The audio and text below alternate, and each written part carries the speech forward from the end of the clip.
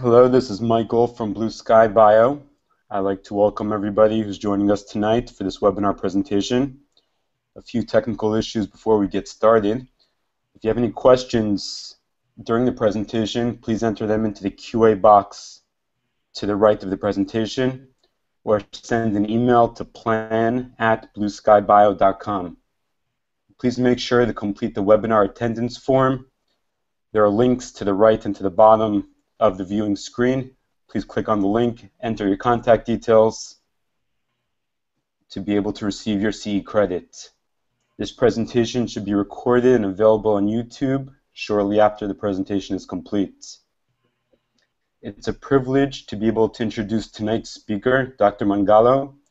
A few of Dr. Mongalo's many highlights are a dental practice limited to implant surgery since 1991, the clinical director of live implant training in the Dominican Republic, an intense hands-on surgical course training around a dozen dentists a month. They place 20 to 30 implants over the course of five days. Of course, a course of which Blue Sky Bio is a proud sponsor. Dr. Mongalo is also a renowned speaker, lecturer, and educator. Without any further ado, I'd like to introduce Dr. Mongalo and hand the presentation over to him. Thank you, Michael. Thank you for taking the time to do this. Uh, welcome, everyone. Uh, today we're going to be talking about advances in guided oral implantology. Uh, when I think about advances in oral implantology, what I'm really aiming at is I want to present to you not specifically what is the latest in oral implantology, but what are those procedures, clinical procedures that we can consistently achieve using guided surgeries that otherwise could not be achieved using open flap surgeries. So what I'm talking about, I'm going to limit this presentation because it's an hour to uh, four different type of cases. Uh, we're going to have, we're going to present a, a, young female aesthetic zone, and as you know, that would be one of the most challenging cosmetic uh, cases that we can treat. Then we're going to talk about older patients with severely atrophic maxilla. And of course, we know that there are other ways to uh, avoid this kind of problems, meaning bone augmentations and so forth. Uh, but when you're talking about people in the third generation, people over 80 years old, uh, that it, it's kind of difficult to um, make a judgment. Should we do all of this big procedures, bone augmentations, hip graft, and so forth, as opposed to something simple that can be resolved with computer-guided surgeries. The same applies for treating patients with severely atrophic mandibles. And the last thing would be something that it's, I, got, I call it something cool. Uh, I introduced it two years ago to the dental community uh, at the University of Alabama, and it's um, computer-guided intracrestal sinus lift. So, as we all know, computer-guided nowadays, it's, it's got ramifications into all of these four fields, cosmetics, full mouth reconstructions, the crown and bridge, and the removable prostheses. Let's start with the first case. I call it challenge number one. This is a young girl, a very pretty girl, and she has, like any 19-year-old, she has Big smile, high expectations. If you can look at the picture, you can see that uh, they probably have done bone graftings there. We can see some scars there. And when she smiles, she shows the tissue, which is uh, it's a little bit of a challenge. Means we got to be right on the money uh, as far as doing the surgery. An additional challenge is going to be the space is a little bit wider than just a simple central and we also have a small buccal depression. Now, uh, the way I approach things in implant dentistry is there's always a solution, and usually it's the simplest one. So the simplest one here would be um, rather than doing an onlay graft, which is an option, and letting this heal again, or doing a soft tissue graft, uh, I decided to do a computer-guided flapless uh, case. We take a uh, regular alginate or PVS for a model. Uh, we scan this with an optical scanner and we scan the patient Uh, now, what you see there is two in inspection windows. This is a, a uh, 3D printed surgical guide. The inspection windows are used to be able to make sure when any time you're treating a partially edentulous case, you have to be uh, assure yourself that the guide is seated.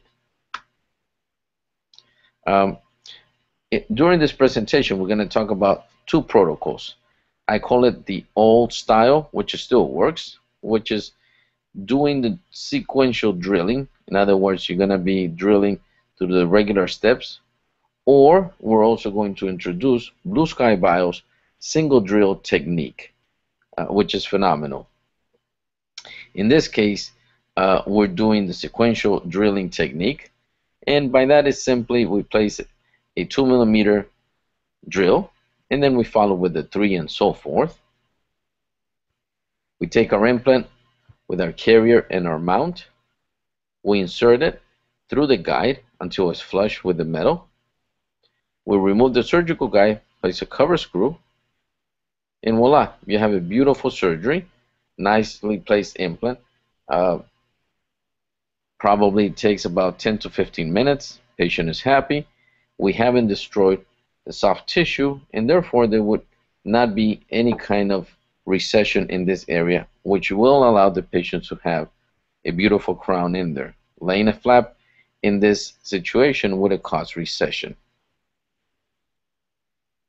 Before we go on to challenge number two, uh, is there any questions, any concerns that someone can pose so Michael can pass it on to us? Uh, I'll give you a minute or so to do to do this.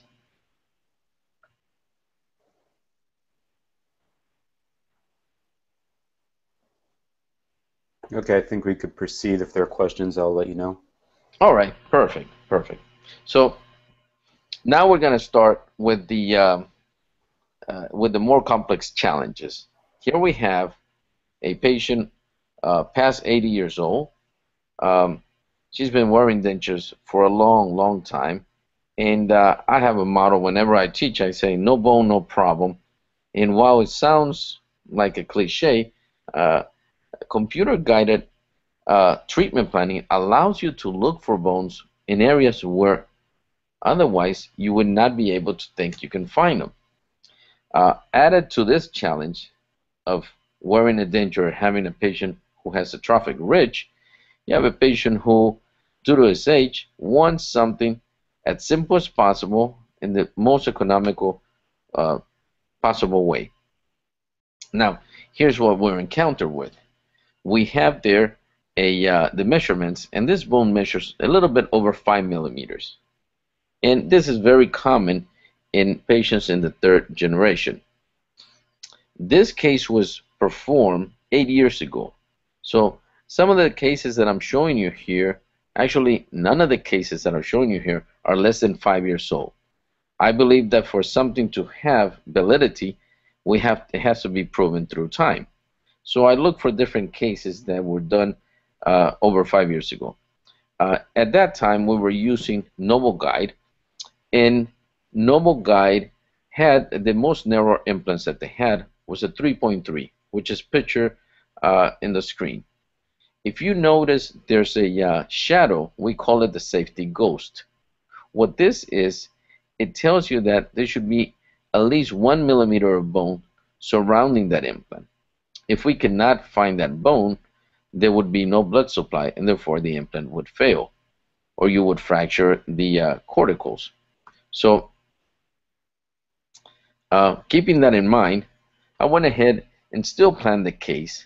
And uh, anybody who, who kind of knows me would know that I find what I call sweet spots. Sweet spots are triangles or buttresses where there's bones that you can use to be able to anchor implants where you didn't think or otherwise you wouldn't think that you could probably do it.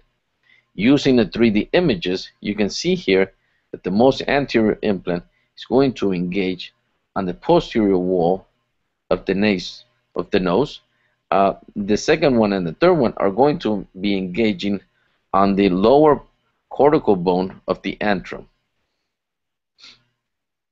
Now, Uh, the protocols to perform this kind of surgeries, uh, fully edentulous that is, uh, is very different than the partially edentulous.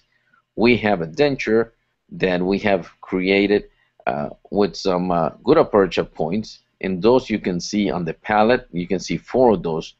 Uh, and if you look closely towards the second molar, you can see it on the flanges, on the buccal flanges. Uh, therefore, what I'm planning here is three implants on each side. And the idea prosthetically is if we can have three implants on both sides, we can distribute biomechanically those forces and be able to have stable denture. Now, again, keep in mind that I'm planning with Nobel 3.3s uh, because that's what was available at that time. I used the program uh, very craftily to be able to plan it even though I knew that I could not place a 3.3. If you look on the right side of the screen on the lingual on those palettes, you can see those threads in that safety zone goes shows through there. So what I decided to do was to use 2.4 minis. And while I'm not an advocate or a strong advocate of minis, they have its place in implant dentistry. And this would be one of those cases. Anything short of this would mean that we would have to do bilateral uh, onlay graft on this patient, most likely probably either from the uh, from the chin or the tuberosity. If not, we can always go to the posterior ilium. But when you're talking about an 84-year-old lady who wants an economical and fast solution, uh, we figure that we would be best serving her by avoiding doing any bone grafting procedures. So we design the surgical guide. There it is. You can see the anchor pins on the top. And since we're placing a 2.4 implant, we're going to use Blue Sky Bio um, single drill protocol. Now, back in those days, uh, I have not heard of Blue Sky Bio single drills, but yet uh, it just happens to be that I only needed one drill. And it worked like a charm. You use a pilot drill to full length, and you remove the surgical guide, and now you're going to take one of your minis and the ones we were using were the ones with a one-piece uh, ball abutment. And the little corkscrew just allows you to find the osteotomy, You place it in there, and you're going to drive it in at 35 newton. It's going to stop you, and at that point we're going to torque it manually, probably to 45 or 50, which means we are able to do immediate loading on these minis. Uh, we proceeded by placing the metal housings right there, small rubber dam, made a, a couple uh, indentations where those would come out through the dentures, hollow that out, and just cure it with acrylic intraorally. So now we have a denture that has picked up the six um, O-rings housings. Now notice that I left the palate because I want all of the support that I can get from the mucosa. The fact that the implants are strong at this point, by that meaning they have been able to torque at 45, doesn't mean that they're integrated. Uh, we cannot confuse those issues. We have to allow the load-bearing areas to exist. Many of you would be tempted to remove the palate, and that would be a big mistake because now you would be overloading those implants, whether they're minis or regulars, my advice is leave the palate alone, even though the patient wants it. Let the bone remodeling period go by, which established by Tom Bauchi and his son Stephen, it's a minimum of eight weeks. And after that, you can come back and remove the palate. But by then, the bone remodeling crucial time has, by, has gone by. And there it is. Eight years ago, I was a little bit skinnier. Uh, now I don't have that beard because I started to look old with those white patches. But doing this kind of procedures, uh, she had been given some options by some oral surgeons, uh, which it was correct, about bone graftings and doing onlay grafts and so forth. And it was going to take her probably eight months or so before she got the second surgery and another six months before she got her teeth.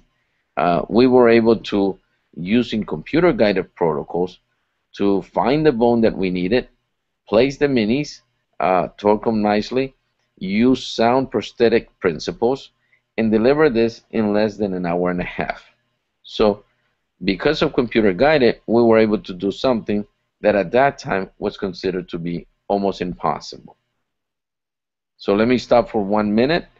Uh, let's see if anybody's interested in uh, posting a comment or a question while I move forward with There's the next comment. day. Uh, that came in asking, how about bone expansion ridge splitting techniques? What is your experience? Um, the question is uh, bone expansion and, ridge splitting. That would be a uh, an alternative. Yes, uh, it's a viable viable alternative.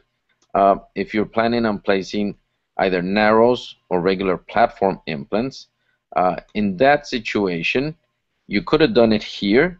Uh, the only difference would have been you would have not been able to load this.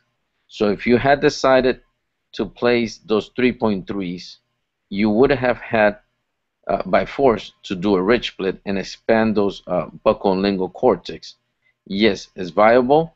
You could have done it, uh, and you would have done the procedure, except you would have not loaded the case.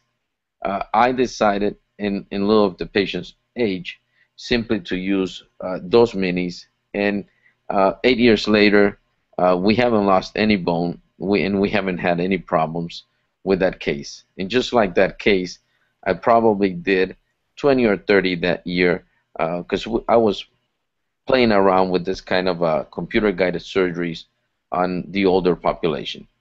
But, but the question is valid. It just it would have led you uh, to delay the treatment uh, and the loading of the case probably six months. Okay, another question that came in asks, what is the average time for success for mini implants? The average time, uh, that would be that's a whole nother uh, lecture. Uh, I believe um, I was trained by oral surgeons, but I am a GP. I'm not an oral surgeon. Um, in my practice, I probably did only less than 5% of mini implants. Um, I have done, I would say, over 15,000 implants. Uh, therefore, I haven't placed too many minis. Probably, I would say, uh, a thousand or so. Uh, we have a good success rate. I believe that minis have had a bad reputation simply because of the erroneous surgical training. If you are trained to place minis uh, using a flapless techniques, not with a uh, computer-guided CAD-CAM surgical guide, but simply by palpating the ridge and inserting the implants, you are running the risk of missing or placing the implants in soft tissue and to partially engage uh, bony uh, structures. And that is the cause, in my opinion, of most of the minis failures. Now, if the minis are done properly, you either raise the flap and you place some solid bone, or if you do them computer guided and you know that you're placing them in sound bone using flap uh, flapless techniques, you're going to have a greater success rate. So um, again, to answer the question, I believe the uh, the average life of losing minis has been attributed, uh, in my opinion, not this is not quantified by anyone. It's simply because of wrong surgical approach. There was a follow-up question asking how long do you think they stay in without problems? Well, uh, very good question. This lady was the first one I did eight years ago, computer guided. Uh, to this day, we never lost those implants. Following her, um, I was tickled by minis because back then, this was probably my first mini case. Uh, I started getting all of the patients that had absolutely no bone in the maxilla. And uh, we did about 50 of those full arch cases. And to this day, uh, we plan them all the same. Uh, we use back then the NobelGuide uh, software because we had nothing else available to us. Uh, was were, was your program available back then, Michael? How long ago are you talking? Eight years ago. Eight years. Mm, we were just getting started then. just getting started. All right. Uh, so I would plan them all with the 3.3s, and then I would go with minis. Uh, now, one advice: if you're gonna be doing minis, I advise you not to use anything lower than a 2.4. Uh, using 1.8s, 2.1s, 2.2s, in my opinion, you're asking for trouble. The minis that I placed were traditionally 2.4s and 2.9s. Try to find a mini that has a wide pitch in order to engage more bone. And if you're going to do it, uh, use a computer-guided protocol. Avoid at all costs trying to do it flapless uh, simply by palpating the tissue. I think only uh, David Copperfield or um, the new uh, uh, David Blaine uh, can actually get good results doing that technique. if you do it right, you should have a life expectancy. So far, um, I have over eight years of all of my mini cases, but again, it, it was following the strict protocols of computer guided. I never did them uh, uh, just by eyeballing it or by feeling the bone. Okay. Are these normal titanium and etched or blasted surface? Um, we used different ones because we were trying to be um, we, we didn't want to be commercial to any any company. Back then, we used um, some of the IMTECs, the 2.4s. Uh, we also use some of the Intraloks, um, uh, which were um, they were called Milos or Milos, and uh, I I want to say we used a third company, um, and we got the same results. Some of them had uh, were acid edge, some of them were sandblasted, some of them were were, were dipped two times in acid. Uh, in reality, uh, it didn't make a difference as long as the surface were treated. Um, I spoke with the owner of Intralok at that time, and uh, they had a a, uh, a technology whereby, and the same thing was true for for the other uh, mini implants whereby they were uh, treating them with lasers and therefore trying to promote uh, osseointegration at a nanomolecular level. Uh, now, I don't know, because I'm not a bioengineer, how accurate that was, but I do know that so far uh, this has worked uh, pretty well. Now, again, I, I am cautious about using uh, mini implants. So I'm not advocating you go crazy out there uh, placing minis in this fashion. If you have over six and a half millimeters of bone, you should place regular platforms. You have all kind of different companies that have implants out there. Right now, um, I kind of favor. Uh, we're doing a lot of implant placements with Blue Sky Bios with the Max. They came out with the 3.0. Uh, and it's just phenomenal. We, we're able to place this in ridges that are six millimeters to six and a half. So if you have six or six and a half, use a three millimeter implant. If you have less than that, then you're forced to use uh, mini implants. There's a question that came in a while ago. I think it might have been referring to the first case, asking okay. if you would immediately temporize the case. Um, Typically, yes. Uh, my inclusion criteria for immediately loading uh, a single tooth in the anterior would be that it has to be 13 or 15 millimeters of length. I would never uh, immediately load anything less than 13 millimeters. That's number one. Second criteria, it has to torque past 35, preferably at, at 45, which we did. Um, and uh, so those are my two criteria for immediately loading that. The reason I did not do this with this patient, uh, her father was extremely demanding. Uh, and you all know, whoever's listening to me out there, that some patients just drive you, not the patients, the parents, some parents can drive you crazy. And uh, I did not want to uh, load it simply because this guy was driving me insane. I wish I would have loaded because I know it would have worked we had everything. This is a 15 millimeter implant.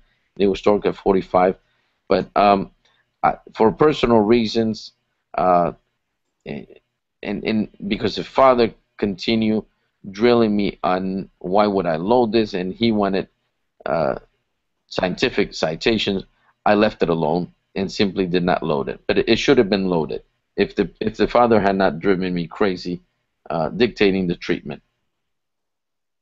Okay, um, I think we could go on. Okay, all right. So uh, thank you for all the questions. Case number three, and this is something almost everyone sees out there. We're gonna be treating patients with severely atrophic mandibles. Um, and let me let me go right here. Then I'll come back to that other one. We're talking about this is a normal progression of resorption of the mandible. Um, and when a patient comes in, they're past 75 or so forth, and we're starting to see patients around that age, 70s, even 80s, even into late 80s, looking for treatment. Uh, I was skeptical a decade ago, but nowadays uh, patients are living longer, they're taking care of themselves, and at some point they just want more a better quality of life. And if they can have a more stable denture, why not? So this patient right here had this is a post-op obviously, but if you can look closely, you can see that the two most distal implants were placed probably about 4 millimeters anterior to the foramen. And could we have done this flap, uh, open flap surgery? Sure. Now, the risk that you run when you have the nerve right on top of the ridge, right there, is if you make your incision through the mid crest, as you should, you're going to cut through those fibers. If you need to do that, you would have to uh, do a lingual incision coming around on the lingual portion of it and uh, I don't like to advocate that too much because it will increase uh, the potential for bleeding. Now, what I did is we scanned the patient using the same protocols as the, as the first one. We had a denture with gutta perchas. Uh, patient got scanned with the denture in place. Later on, the denture by itself got scanned. Uh, the case is converted. Uh, all of those dots or gutta perchas are merged. Uh, Blue Sky Bio merges them automatically, and uh, we plan the case. Right here, what you can see is four implants. There were 3.5 by 10, and uh, we couldn't place any longer implants. We were two millimeters to two and a half millimeters from the infer inferior border of the mandible. Now, uh, some people are skeptical and they think that the jaw might break in the in uh, in the uh, most narrow part of the jaw. Uh, if you do this technique, you're avoiding laying a flap, which can and will cut through those uh, mental foraminas, uh, or doing uh, an extended surgery. So we planned the case. we printed a 3D surgical guide, and um, here it is in the mouth. Those uh, those holes that you're looking at, those would be the anchor pins. And what we did, going back to this, uh, make sure when you're doing this that the patient is able to bite. So you can see on the right side that from canine on back, you have maximum intercuspation. Therefore, the patient is holding this uh, surgical guide stable we're going to go ahead and uh, mix some putty, make the patient bite into it, and uh, we're going to trim a little bit. And what this is going to do is going to make sure that all of the surfaces, anterior and posteriors, are touching the opposing surgical guide, and therefore, when we're drilling for our anchor pins, which I'm showing here, uh, is going to be stable. These are the anchor pins in place. And there's your three anchor pins. So now the denture was held by the putty and the posterior um, centric stops. We have the anchor pins in place. Now we have we removed the uh, the bite registration, and what I'm going to do is I advocate drilling on one side and then placing the implant there, coming back to the contralateral side. So there we have it. We're going to have our implant with our carrier and our mount. We're going to place the one on the right side. We're going to move, place the one on the left side. This way we stabilize surgical guide. And last but not least, we come and place the two in the middle. Going to remove the surgical guide, place some healing caps,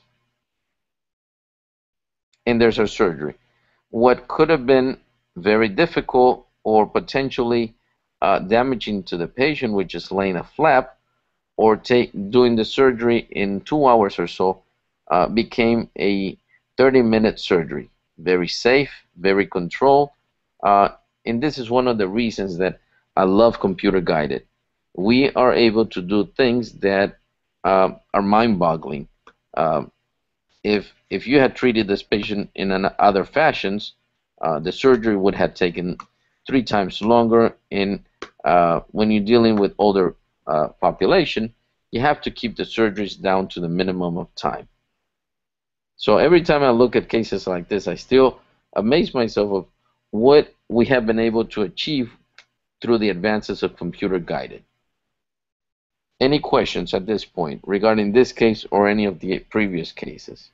There was a question that came in asking why four implants instead of three. Well, uh, very good question. I'm advocating right now my teaching protocol. I place three. I place two in front of the foramens and one in the in the uh, in the symphysis. Uh, this case was done, uh, I want to say, probably seven or eight years ago, and I wasn't teaching that protocol back then. I was following the conventionals uh, four for overdentures. If I had to do this today, I would just do uh, three. I found out that three implants allows me for more inter implant space, uh, and therefore we have less breakage of the acrylic prostheses. So again, this is correct. If I was doing it now, you would only see three. And just picture in between those implants, you're going to have housings. They're almost going to be touching each other. And therefore, what's going to happen to the denture, you're going to have weak points. So fast forward uh, eight years, we do this. We do it with three implants uh, we have all the space in the world between housings, and therefore our prosthetics uh, would never break. So good question, good observation on that. Any other questions on this? I think we could proceed for now. All right. So now we're coming to the, uh, I call it the Mac Daddy. Uh, I introduced this technique uh, I did research on it, literature research. There was a, a group in Sweden who had done some intracrestal sinus lift using the balloons and using uh, other techniques. Uh, we basically just used the um, the hammerless intracrestal technique. Um, this was done. This is more recent. This was just done two years ago, and we have done since then about 20 cases like this. Uh, but I thought that I would tickle uh, the uh, the attendee's brain and introduce something that is pretty nice. Um, as we know, uh, as you read through this, uh, when you see SA1, SA2, 3, and 4, that is Carl Misch classification for atrophic maxillas. Uh, SA4 meaning um, that you have less than 3 millimeters of bone. SA1 means you have pretty much good amount of bone over 10 millimeters. Um, the other classification that you read there that says class A, B, and C, that is Dr. Wang's. Um, both of these have written on classifications for uh, atrophic maxillas, and they kind of coincided, except they're using different nomenclatures. Uh, now, I have not published a, um, a classification. I figure Dr. Mission one had done a good enough job on that. uh, what I do is taking their classifications, I can recommend guidelines for intracrestal sinus lift and for lateral windows. Uh, from my perspective, if you have one to three millimeters of residual bone, meaning from the alveolar crest to the lower part of the sinus, if you have less than three millimeters of uh, bone, you should do a lateral sinus window elevation, uh, bone graftings, let that heal, come back six months later, and place implants. Dr. Um, Mission Wang would agree uh, with that uh, uh, classification and with my recommendation. Now, this is where we differ a little bit. And clinicians are like every human being. Uh, we're different. Not better or worse, we're just a little bit different. In red, you'll see three and a half to seven millimeters intracrestal sinus lift and grafting. What I'm missing there is saying immediate implant placement. We have shown um, Blue Sky Bio has been sponsoring a, a course that we are performing in the Dominican. So far, we have performed over 250 hammerless intracrestal sinus lift, meaning uh, it's an intracrestal that we do not use uh, the hammer technique like in the Summers. Uh, our protocol for this is if you have three and a half to seven millimeters of residual bone, you do not need a lateral window. Dr. Misch and Dr. Wang would disagree with this, and they're perfectly fine. They would do a lateral window. Uh, the the uh, research that we're conducting at the institute, and so far it has yielded great results. It has been already substantiated by Jaime Lozada and his group in uh, in Yorba Linda. It has also been done by Dr. Wang and other groups at the University of Michigan, whereby if you have three and a half to seven millimeters, you can take a special sinus drills and break through the uh, cortical bone of the sinus without perforating the sinus and elevate that sinus, graft, and then place your implant. I happen to believe that this is where most GPs with intermediate experience, in mind that I have to say that if you're a beginner and you've never done uh, 100 implants, you should not attempt doing this. You have to have the proper training and you have to have the feel for this. But once you've done uh, quite a few implants and you are experienced surgically, uh, you don't have to be an advanced doctor to do this, but you have to have uh, a moderate experience. You should be able to perform intracrestal sinus lift. Now, if you have over 7 millimeters of bone, there is no reason why you should be performing an intracrestal. You can easily do what is called a sinus implosion, which is simply use the implant to implode uh, and push the implant inward. Do we have any questions on that? Because sometimes we get a lot of questions, and there's a debate going on with uh, the classifications, or when should we do this, or why not. Uh, meanwhile, there there are a few questions that came in. Um, one okay. is, with all the new materials, what are your thoughts on zirconium restorations, i.e., zircon or BruxZir monolithic versus acrylic denture? Okay. Um, as as we're moving forward into the CAD/CAM world, we're gonna find that the new machines that are able to um, uh, to mill the the zircons are phenomenal. Uh, they're not in the testing stage. They've been proven for a few years now. Uh, if you have enough implants, and by that probably a minimum of six, or if you've done an all-on-four where the implants are long, by that 4 by 15s. Uh, so if you have enough implants uh, that are engaging the bone, uh, complying with the BICA, which is Bone Implant Contact Surface Area rules, then by all means, and if the patient can afford it, by all means, you would be doing a great service to your patients by fabricating this kind of, uh, using this kind of materials, whether it's Prettau bridge, zircons, or otherwise any of those mill zirconians as opposed to the acrylics.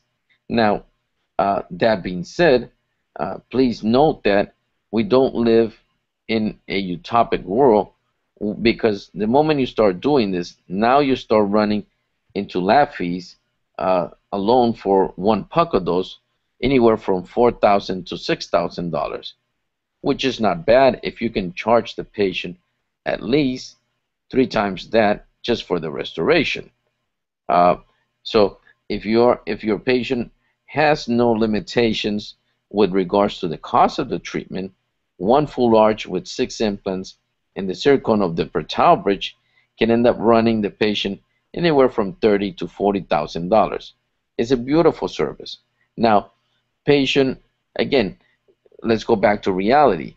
Uh, patient probably is in in uh, over 60. Uh, finances are not what they should be, but they're not doing bad. But maybe they have a problem with that kind of treatment or just uh, the money involved with it. You you can serve them very well by fabricating a cassette bar with retention pins and resin teeth that are processed over that, the conventional hybrid bridge. And by doing that, you can reduce the cost of the treatment probably ten to eighteen thousand uh, dollars. I did that in my practice successfully for many years, and now and then I did have the patients that could afford the other ones. So both treatments are correct. Uh, it's just a matter of the patient population that you're treating and their finances. Any other questions, Michael? There was a question, I believe, uh, regarding the previous case. With three implants, is there no lever forces involved? Well, here's the deal. Um, there will be lever uh, forces. We are not going to be doing immediate loading, number one. The rules for immediate loading uh, are that you need uh, a minimum of three for an overdenture. But again, we have to go back to the sizes of the implants. These are very small implants. These were 3.5s. It was a narrow ridge. So if you can place 4 by 11s in their torque, and there are three of them, their torque are 45, I have no problem loading them. Now, remember, an overdenture is resting, it's an implant, but also mucosa supported prosthesis. It's not 100% implant supported. So half of the forces or more are going to be distributed through the load bearing areas, which in the mandible, of course, are in the retromolar pad.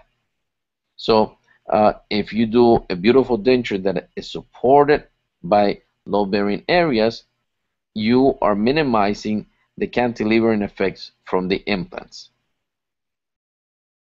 Any other questions? No, I think we can move ahead for now. All right. So so here we have this patient is missing four teeth.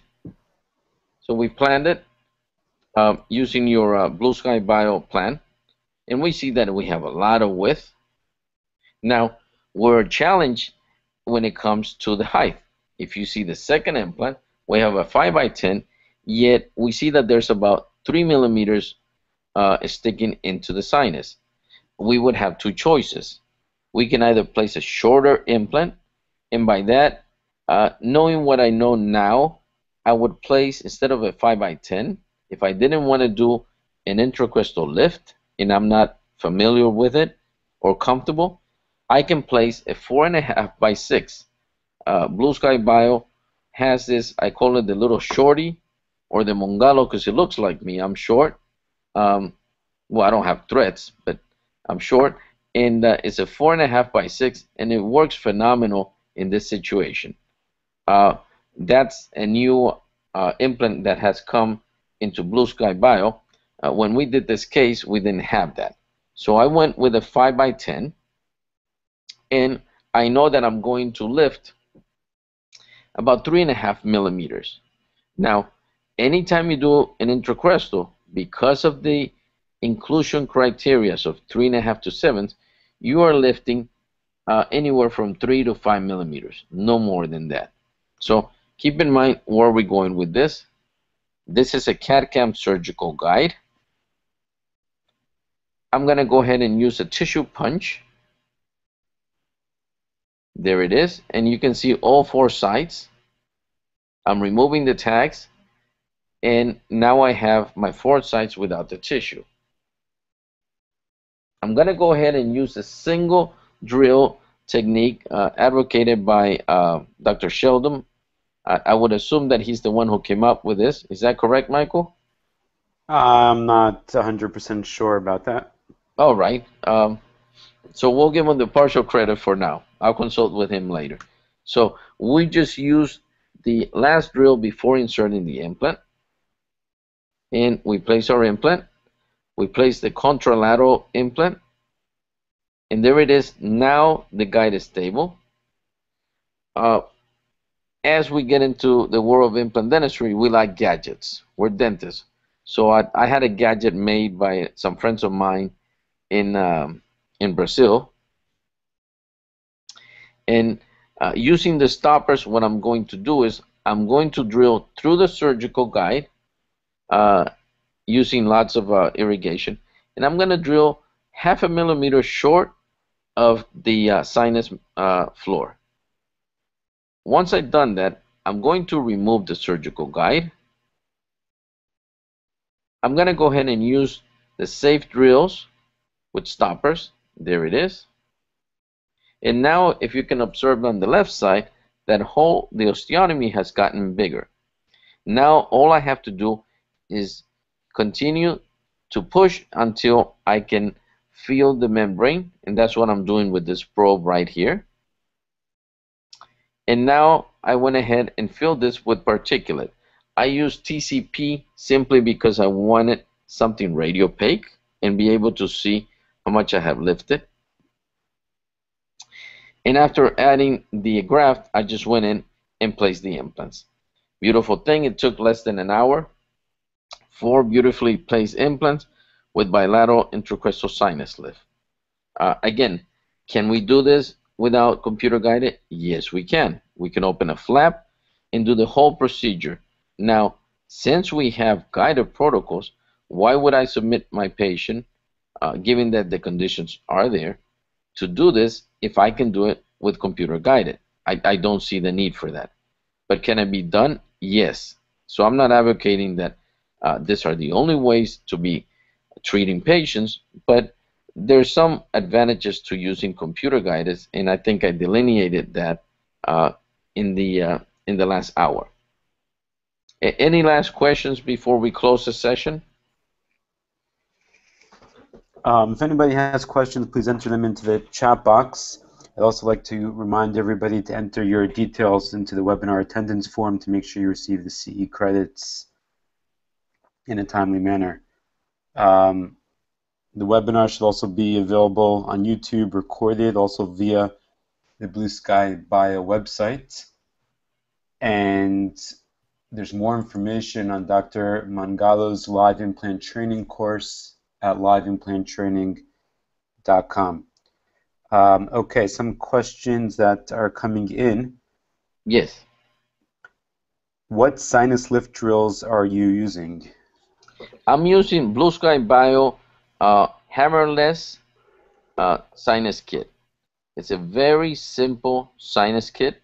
Um, if you go on the website Blue Sky Bio, look for instruments, and you'll see there the hammerless intracrestal sinus lift.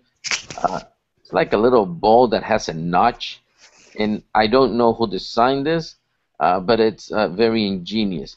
It allows you to push and break through the cortex of the sinus without tearing the maxillary sinus.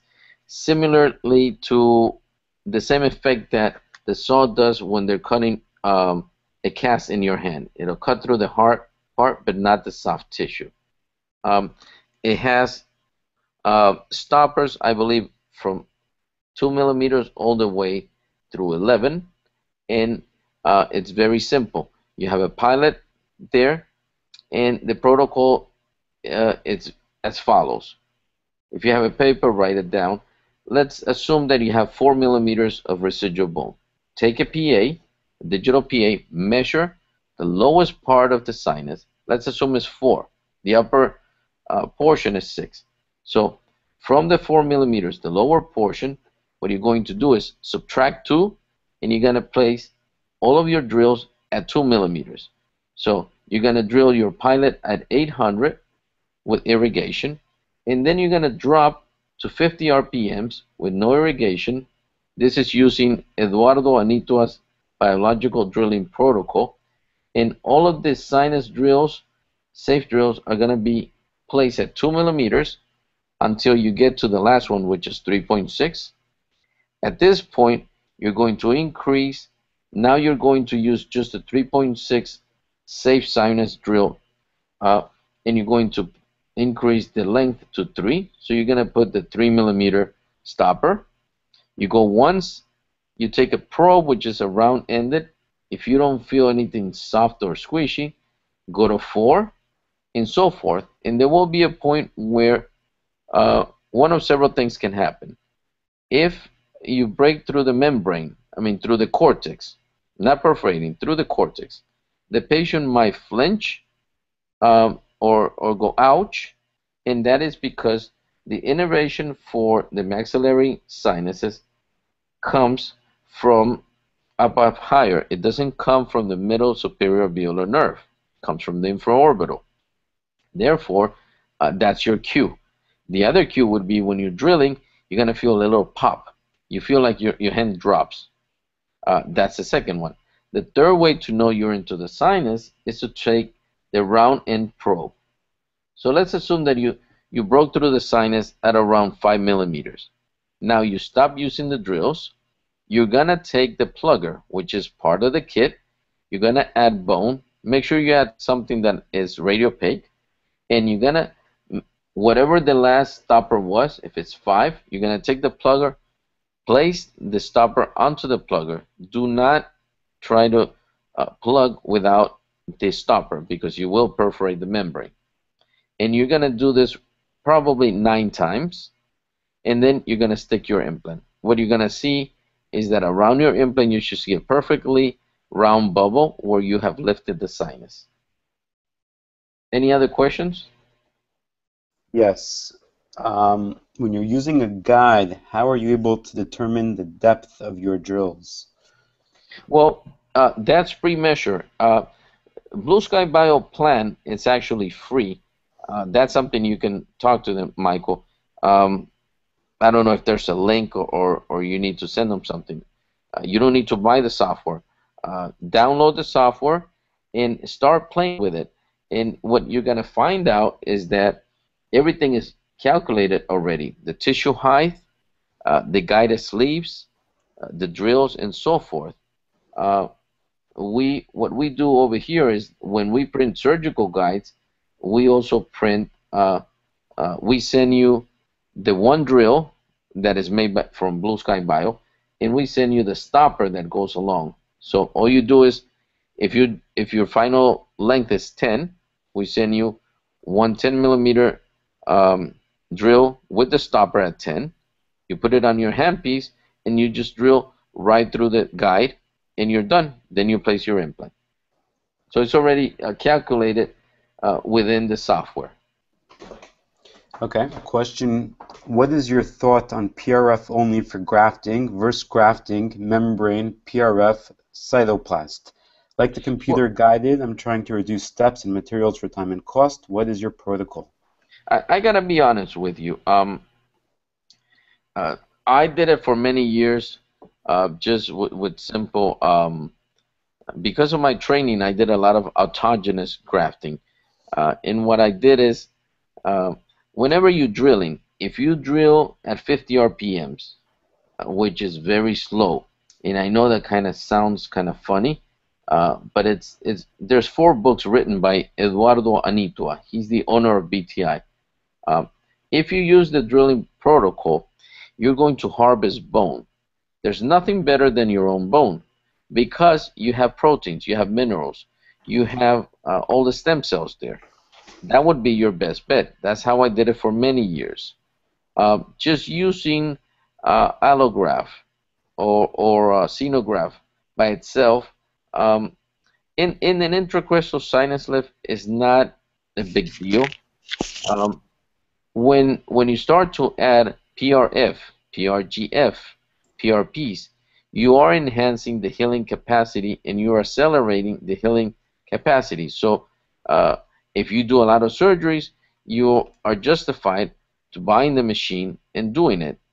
Um, if you only do it now and then, uh, there are companies out there, just like mobile scans, that go to your office, will take the blood, will mix it, uh, and give you the uh, the membranes. But if you do quite a bit of surgeries and you're going to be incorporating that, that technique, you might as well buy it.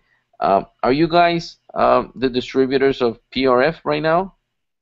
I, I don't know. I, I thought you were. Do you know, Michael? Yeah, I believe we're currently out of stock and expect to have more back in shortly. That, that's a phenomenal machine. Just look it up on, on, on the website, on, on Blue Sky Bio website. Any other question?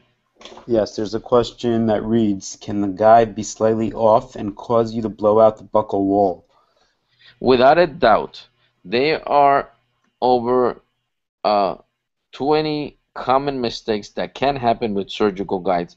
Unfortunately, uh, we don't have the time to go into that. That would be it. Um, if if you don't mind, Michael, a month or two months from now, we can set it up. I can do a uh, a webinar on common mistakes on computer guided because they are common mistakes. Yes. Uh, if I go through them right now, uh, I'm just gonna lose everybody. Uh, but yes, that can happen. Now, if you know what the common mistakes are, it's like everything else. Now you have criterias, you have less chance of, of following those mistakes. Okay. Um, another comment I'm going to read off. Can you resume the single drill technique? I'm sorry, what was the question? Uh, the question as it's written, can you resume the single drill technique? I think they're just asking on your current view of the single drill oh, technique. Oh, I, I love it. I love it. Uh, initially, when I was, I tried this simply because I had to with minis. I had no choice. I had to use a pilot. That was it. Um, later on, uh, when Dr. Sheldon uh, talked to me about it, we started using it for most of our cases. And all it is is a drill that is probably 0.4 or 0.6 um, narrower than the final implant. And you have a guide printed with the sleeve that accommodates to that drill. And you just do one drill and now you're ready to insert your implant a lot of you that are trained in sequential drilling are going to find this very uncomfortable. If that is the case, uh, I'm not here to change your mind. You can continue doing so. Uh, but if you never tried it, uh, there's no harm in trying something new that is proven. Uh, I have been doing it for years, and so have many clinicians. Uh, this is just one drill, which means less heat. When we're doing sequence of drills, uh, pilots 2.5, 2.8, 3.2s, 3. Point, and so forth, you are generating more heat. The chances for errors increases as you increase the number of drills that are going through that guide. Because uh, I know someone is thinking, you know, I'm going to generate a lot of heat just with one drill. It's just the contrary. Uh, it's it's going to be a single time that you go in there, and it's going to be more accurate than using the sequence. Uh, but again, uh, both are correct. Uh, if if you love dentistry, you should try it because you want to learn things that might uh, make your treatments a little bit simpler, and sometimes simpler is, is better. Um, I hope that answered the question. Okay. Um, there are many comments coming in. Um, you know, thanking you for the informative seminar. Thank you very much for sharing. Great presentation. Um, so I think at this point we are out of time and we are going to wrap it up. And I would very much like to thank you for taking the time and giving over this presentation. And I hope that we can follow up uh, in a couple of months with uh, common mistakes computer guided cases. I think that would be great. Sure. Uh, I want to thank you, Michael. I know it's it's late in in uh, in Israel over there. It's probably two in the morning. So thank you for your dedication to this. Not a problem at all. My pleasure. Okay, thank you everybody for attending. Please make sure to complete the attendance form so you get your CE credit, and the recording should be live on YouTube in just a little while. Dr. Mongalo, thanks again. Michael, how, how do we log on to YouTube? Because uh, I know some of my students that didn't attend this are going to ask me tomorrow. Uh, I could send out the link to everybody that attended, everybody that registered who weren't able to attend, and of course to you as well. All um, right. We'll also have it. Uh, we'll also have it via the Blue Sky Bio website. We'll have a link there as well. All right. Perfect. Thank you for your time, everyone. Okay. Thank you. Have a good evening. You too. Bye bye.